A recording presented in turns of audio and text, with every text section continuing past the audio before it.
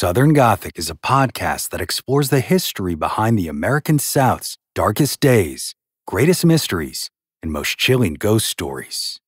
But today, we aren't hitting the history books. We're going to go down to the campfire for our annual Halloween tradition of 13 spooky tales over the course of 13 nights.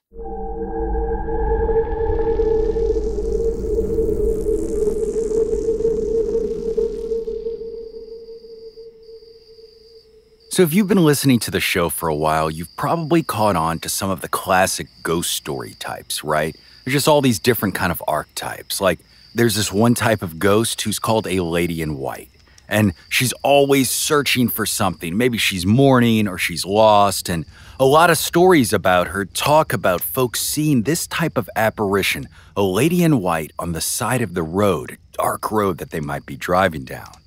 Then, after they pick her up, talk to her, and drive her home or wherever she wants to go, they turn around to realize there ain't nobody there in the back seat. She's just gone. Well, this particular archetype is so prevalent in ghost lore that I've probably told y'all at least a dozen versions of this type of story over the years.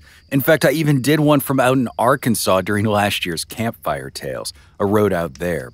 But recently, I discovered a few stories out in Virginia about a different type of apparition. They called her the Woman in Black. And y'all, she does not seem as friendly as the hitchhiker.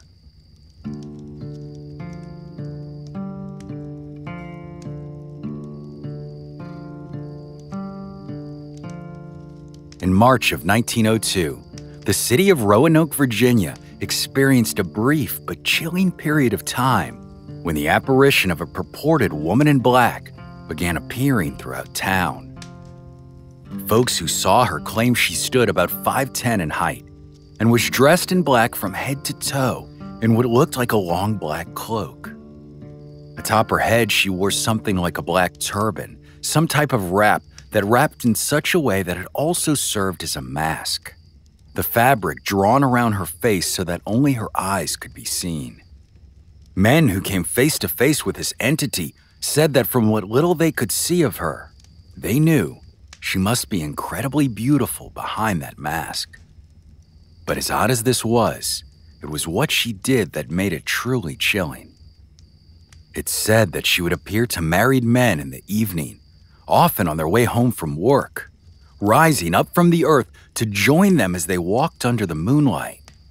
And as she did, she regally glided across the ground by their side without ever making a sound.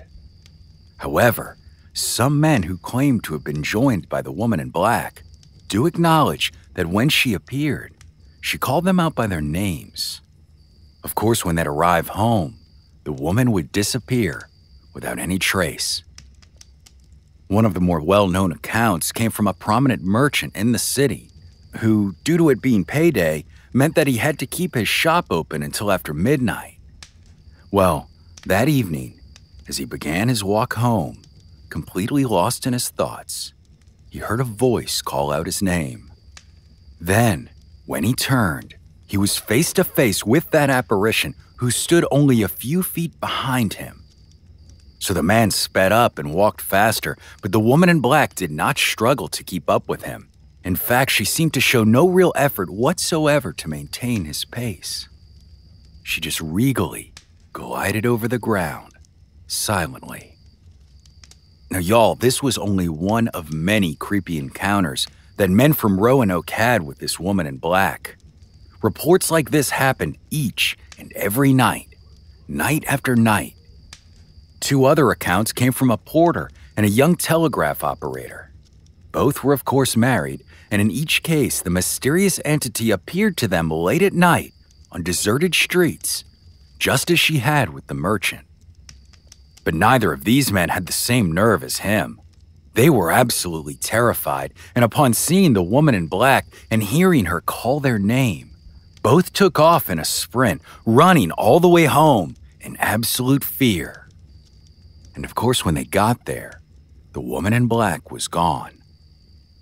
Well, as I said, this happened to numerous men in Roanoke night after night in March of 1902. But eventually, one night, she just stopped appearing. Now, after all of that time and all of those reports, you might wonder who was that woman? And more importantly, what exactly did she want with all of them married men, right? Well, some claim that she was the widow of a man who was murdered on his way home from work one night, and that she now accompanies married men to protect them for their wives. But there are others who believe that she is actually a bitterly heartbroken wife of an unfaithful husband who is now doing a favor for the local women by keeping their spouse on the straight and narrow, stopping him from getting into trouble after work. And in some cases, folks have even suggested that she might have even flirted with him, testing their faithfulness on the way. Now, which one was it?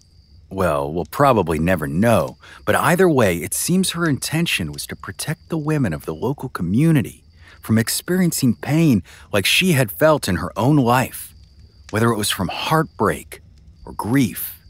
And y'all, I guess if that takes scaring a handful of local married men to make that happen, it just is what it is.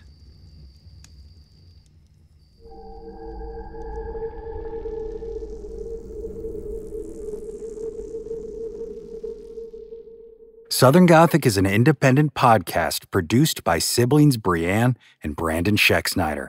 And this mini episode was part of our annual Campfire Stories, a series to get you in the spirit for Halloween. We'll be back with an all new full length episode on October 31st. So y'all stick around if you dare.